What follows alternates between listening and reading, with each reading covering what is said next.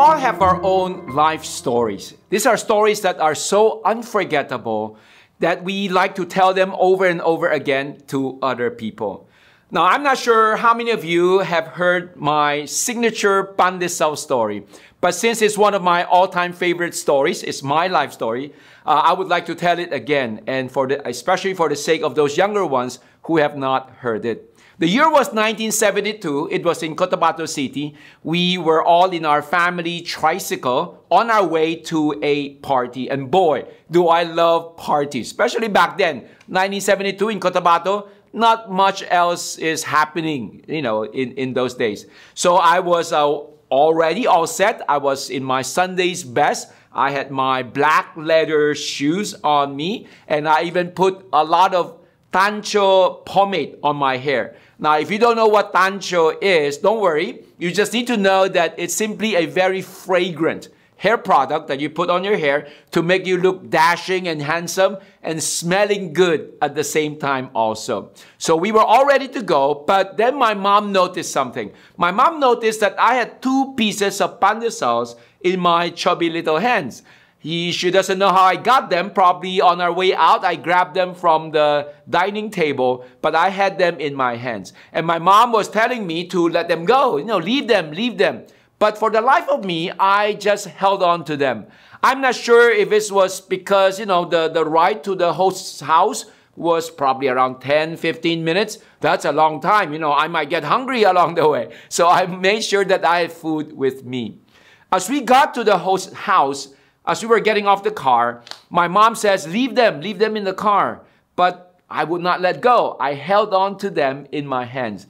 Even as we rang the doorbell and as the host opened the door as we got in, I was still holding on to them until when we got inside and I saw all the sumptuous food on the table lechon, spaghetti, barbecue, cakes, leche flan, ice cream. Oh boy. And at that moment, Suddenly, the two pieces of pandesal just don't look as tasty as they used to. And uh, especially at that moment, you know, after such a long ride and, and hanging on, grasping them in my chubby little hands, they have uh, become squished and damp and uh, dirty. In fact, if you look at them, they look like somehow, I don't know how, but, but they, they look like they have turned back into flour, you know, the dough. And, and at that moment, I did the only thing I could inside someone's house, looking at all the food. I did the only thing I could. No, I did not eat them. If I had eaten them, then I would have no more space for the real food. So what I did was I simply gave them to my mom. It was at that moment that I was willing to give them up. Now, that story I've told so many times, I've lost count how many times. And many lessons have been drawn from this story. You see, stories are powerful much, much more than a lecture could ever do. Stories communicate in a powerful way. And keep that in mind as we look at Luke chapter 20, verse 9 to 19, because here Jesus was telling the people a powerful story. This happened after, remember last time we saw Jesus was confronted by the religious authorities. They asked Jesus, Who gave you this authority to do all these things? And Jesus asked them a question they would not answer. And in the end, Jesus said, I will not answer you also. After that, Jesus told them this parable. And being the master storyteller, we know that Jesus, his stories are always powerful. And so here I want us to get a good look. Okay, we want to see what exactly was Jesus' point. What was he trying to tell them?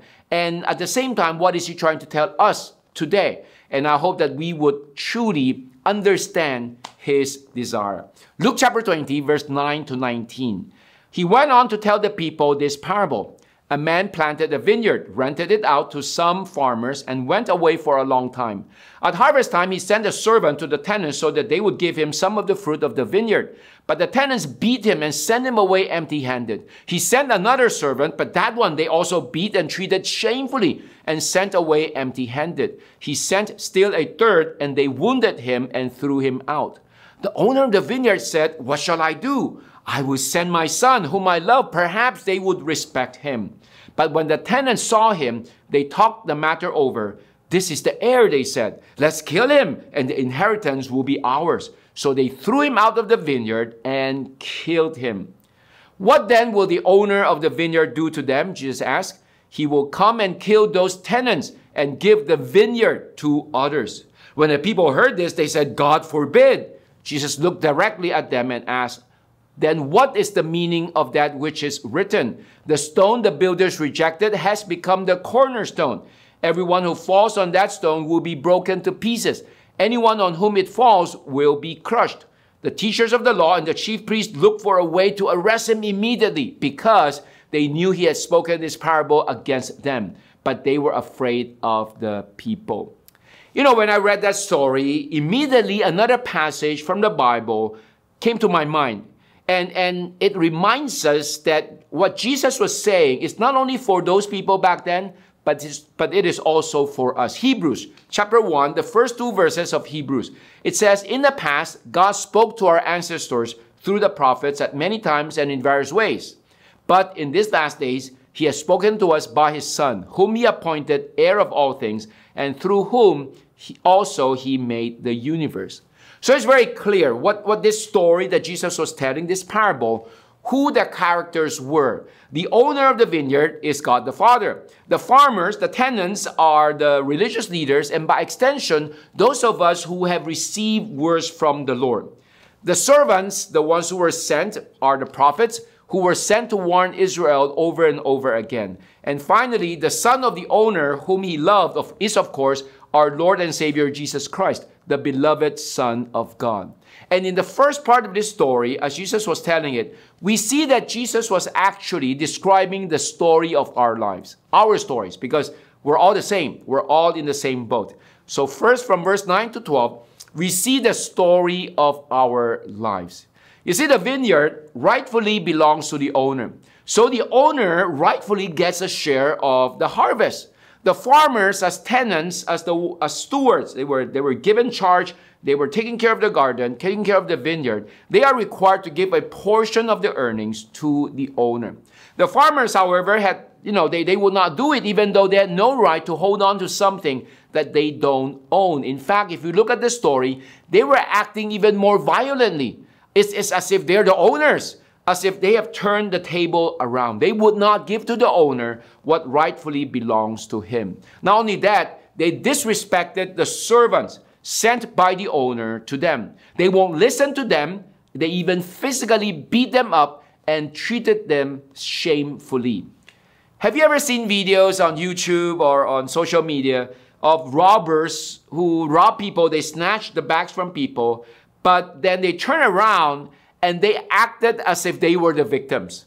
Okay, and, and, and they would beat the, the, the, the actual owner of the bag and they would beat them and, and curse at them and say, Why are you stealing my bag? They act as if they own the bag and the actual owner, they are the, the robbers. Okay, so they've turned the table around and they shouted at them, they, they beat them, and, and people will gather. And eventually people would, would gang up on the victim, thinking that he, she's the robber, well, in fact, it was the other person. I think that's what's happening here. The tenants of this vineyard, they have turned the table around. They were acting so violently as if they were the owners, as if they, they own the place. And so the servants, when they come, they don't like the message. They don't like you know what they were said, telling them, although it's, it's the truth. But because they did not like the truth, they mistreated the messengers. They even kicked them out. They treated them shamefully. And back in those days, probably they shaved their beard, half, half of, half of their beard. So, so you know, it, they, they look so shamefully. And, and they would tear their clothes and expose them, their nakedness to others. That's how they treated the servants. So they did not like the message and they mistreated the messengers. In our case, we need to remember in our lives what rightfully belongs to God. Sometimes we, we are mistaken. We think that, oh, this is my life, this is my wealth, my wisdom, my abilities, my time. And we forgot that everything we own belongs to God. You remember the, the time that Jesus was challenged, like, should we pay taxes or not? They were asking him. And this was his answer in Mark chapter 16, verse 6, chapter 12, verse 16 to 17. They brought the coin which he asked for, and he asked them, whose image is this on the coin? And whose inscription? Caesar's, they replied. Then Jesus said to them, Give back to Caesar what is Caesar's, and to God what is God's. And they were amazed at him. What is Jesus telling us? In whose image are we created in? Okay, we are created in the image of God. So there's the image, the imprint of God upon us. So everything we have, even our, our very being, has the image of God on it. Therefore, we belong to God. So we need to give to God what belongs to God. And when we do not do that, okay, when, when, when, when you do not give to Him what belongs to Him, then who are we? We are robbers. We are stealing from God. You say, how can that be? How can that be? Well, in the Old Testament time, when the Israelites would not give to God what belongs to Him, one tenth of all that they have, God said that they were stealing from Him. In Malachi chapter 3, verse 10, we're very familiar, but we'll look at, we will look at verse 8 to 9. Here, God says, Will a mere mortal rob God, yet you rob me? But you ask, How are we robbing you? In tithes and offerings, you are under a curse, your whole nation because you are robbing me. When we don't give to God what belongs to God, then we are robbing Him. Now, of course, in the New Testament, the tithing, one tenth, is not repeated. Okay, so the command to give one tenth is not repeated in the New Testament. However, the principle here is that in the New Testament, all that we own, all that we own belongs to God. Therefore, it's not just one tenth, it should be all. So to give one tenth is a good basis. Okay, it's it's in the Old Testament, I think it's a good basis for us. At least that's the, the very least. The minimum that we need to give is one tenth of what we have. And on top of that, whatever the Spirit is impressing upon our hearts to give. And when we start to think, hey, this is my life, this is my body, this is my work, this is my business this is my money, my future, I can do whatever I want with it, then we are sorely, sorely mistaken. One day we will have to give an account when the real owner comes. And when we stand before him, we will be judged for all that we have done. Now, that judgment will not be a judgment of whether we're saved or not, because we're, as believers, we are saved by him, not by our good works. But our works will be judged for the, the quality of our work, whether they are good or bad we will have to give an account. We will be held accountable for how we have used the life, the talents, the resources that God has graciously given to us. There's a story about the Queen of England. It's an old story. I'm, I'm not sure the accuracy of it, but I think the meaning is, is very powerful. They said, it was said that the Queen of England would like to stroll around in town, dress up as a commoner, so that she would not be recognized. And she would be without her escorts and she would be alone. One time, as she was walking in, the, in town early in the morning, she wandered through into the more provincial part uh, and, and it started to rain. And she saw from a distance that there was a small house in front, so she quickly ran to the house, knocked on the door early in the morning. A woman was inside still sleeping and she was grouchy. Like, like why would someone knock on the doors this early hours? And she said, Who is it? What do you want? The queen, without introducing herself, said, uh, Ma'am, it's, it's raining outside. If I may, if you may be so kind, can I borrow an umbrella from you? Ah, the old lady inside says, ah, Okay, okay, okay. And she looked through the house, found the rattiest umbrella, broken handle with holes, and, and it's a terrible, in terrible shape. And she just opened the door a little bit, shoved the umbrella out, and said, Here, take it. The Queen of England thanked her and was on her way. The next morning, when the old lady woke up, there was the entire entourage of the Queen of England right outside her front door. And you know all the soldiers were there the escorts the, the, the carriage and everything. And then when she opened the door a soldier dressed in full uniform walked towards her with the broken umbrella in his hands. And he approached her and said the queen of england would like to thank you for the umbrella. And and when the soldier turned around he can hear the old lady saying to herself if i had only known that it was for the Queen of England, I would have given her the best. I would have given her the best. Brothers and sisters in Christ, one day we will have to stand before the King of Kings And we know this already.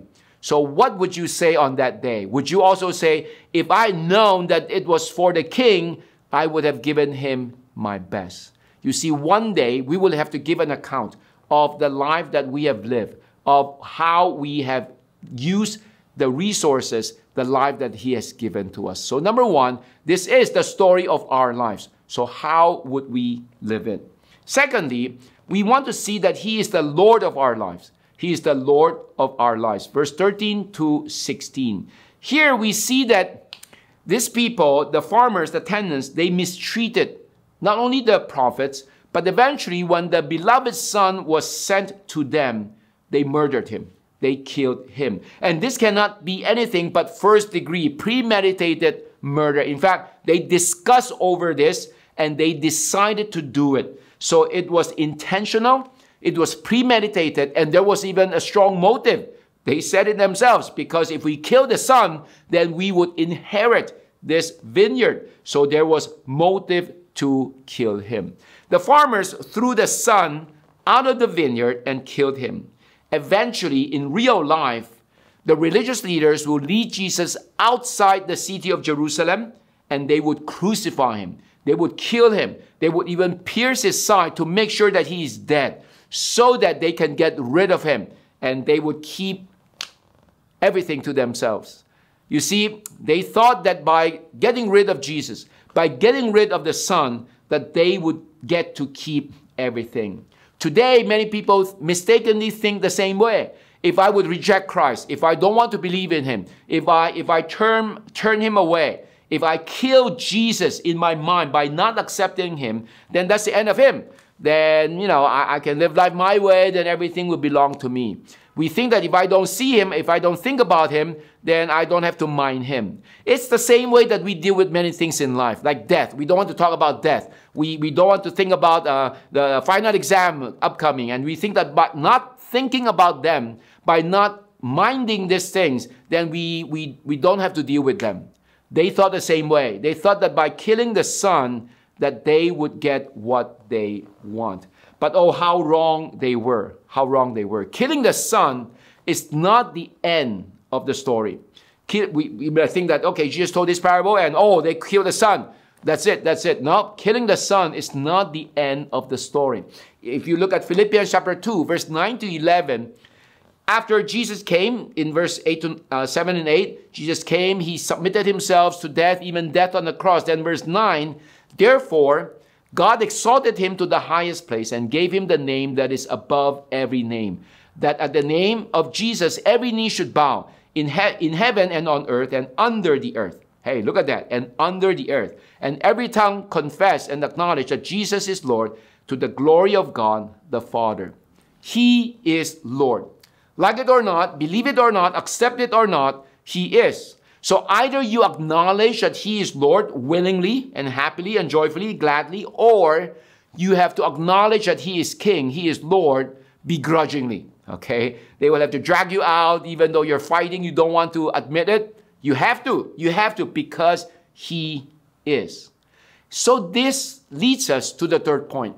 If He truly is the Lord of our lives, then we must make a choice. There's a decision to be made here. The choice of our lives. What would be your choice? How, how would you deal with this? If He is the Lord of our lives, what should you do?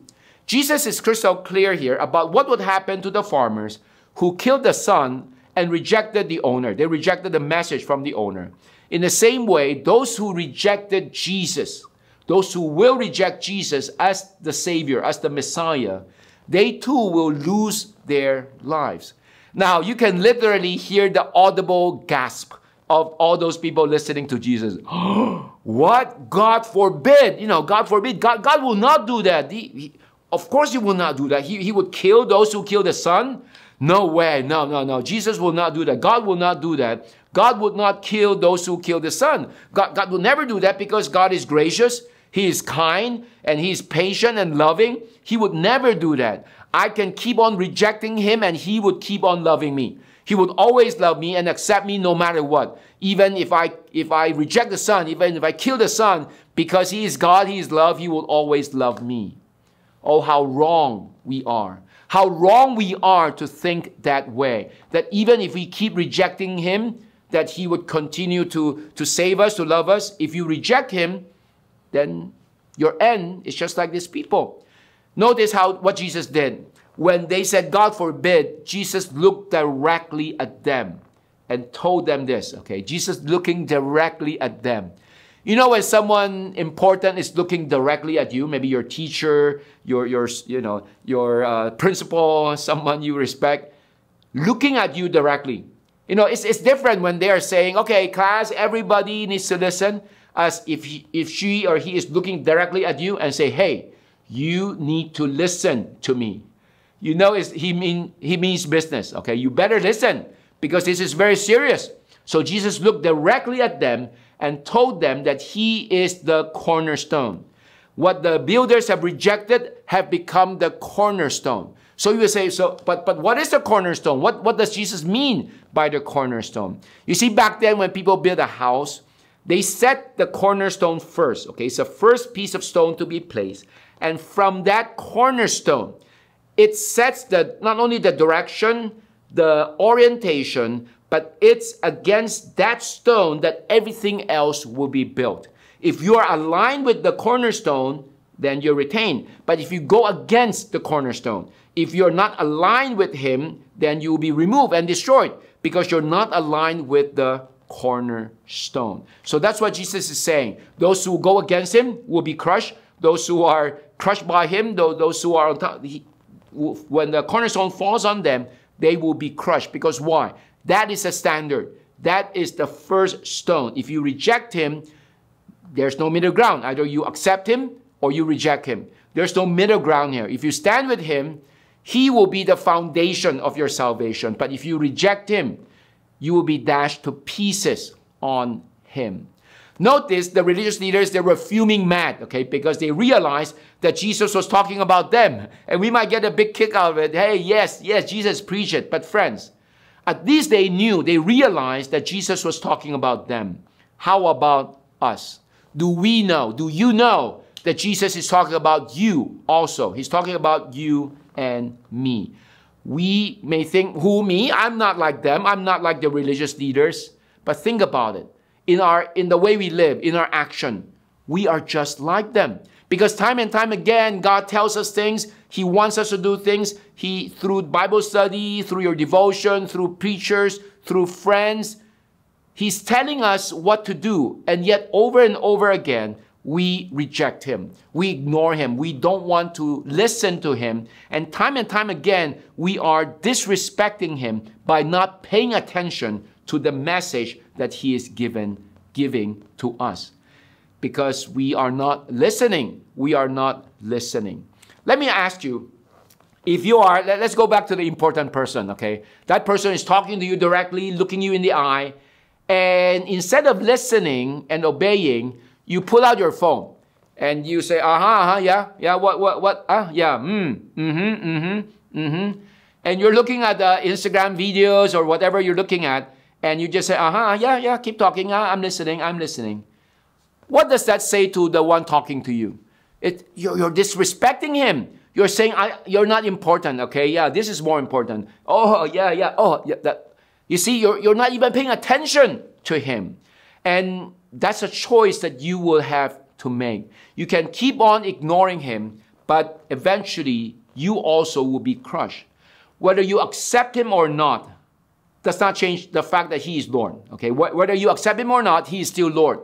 But whether you accept him or not will determine your destination for you. For you, it will change everything depending on whether you listen to him or not. So the choice, this is a choice of our lives. What would you choose? Would you choose to obey him, to listen to him, to believe in him, to follow him? Or you would choose to say, yeah, okay, mm-hmm, keep talking, keep talking. Or you reject him, you don't want him. It does not change him, it changes you. What do you call that experience when you are walking maybe down a narrow hall or, or you're walking along the street and, and, and when you someone is meeting you, when you turn to the right, they, they go to the left and, and you're going back and forth like like you're dancing. What is that term called? Do you, do you know what is what is it called? I don't know. Okay, I don't know. I tried to look it up. Uh, there's actually no English word for that for that action. Okay, the, the moving back and forth in in in synchronized step, synchronized dancing. Uh, they say that in other languages they have, but I, I don't know the word for it. But it's when you are going back and forth and you could not pass each other until a time one of you have to stop and make way for the other person to pass. You see, when I was younger and uh, bigger and stronger, what I would do is I would like try to walk down a crowded street or a train station, or I want and I want to see how far I can go, and people will just part way, okay? Because I was pretty big and I'm walking down, you know, and, and people will part way and part way because they see me coming. They don't want to run into a wall. And so they would part way. I, I want to see how far I can go until I meet somebody even bigger than I am, okay, even stronger than I am. Then I would have to give way to them. You see, when, when, when we realize that Jesus is the cornerstone, He does not change. It's up to you whether you want to accept Him or not. Or it's up to you, you want to reject Him, then you will be crushed to pieces. He's immovable. Just like the, the walking down the road, you never see people doing that against a, a light post. Okay, can you do that? Play chicken against a light, light post and see who will move. If you if you keep to your ways, you will get hurt. You will get hurt if, if you bump against that light post because it is immovable. In the same way, we have this choice. It's up to you whether you want to accept him or not the choice is yours. So, what is your life story? Perhaps even more importantly, how will your life story end? How will it end? On that final day, I hope that all of us will say, I'm so glad that I've given my best to the Lord. And we will enjoy being with Him forever. I hope none of us will say, if I had known it was for the King, if I had known that this choice was for the Lord, I would have given him my best because at that moment it would be too late. It would be too late to regret. So I hope and pray that all of us, our life stories will truly be one that will honor him as we accept him, as we believe in him, and as we follow him. So that ultimately on that final day, our life stories will be the best stories that we get to tell over and over again when we get to heaven. Let us pray. Dear Lord, thank you so much for reminding us about who you are and what we are to do. What are the choices that we have? May we choose to believe in you. May we choose that which is right, which is to follow you, to believe you, to be who you say you are, and commit to obey everything you say. Help us, Lord, to make the right choice, to make the choice for you rather than against you. May we not be like the tenants, the farmers in the story, who reject you over and over again and reject even the son. They killed your son because they would not want to follow you. May we make the right choice so that we will have the best ultimate life story to tell when we are in eternity. This is our prayer. In Christ's most precious name we pray. Amen.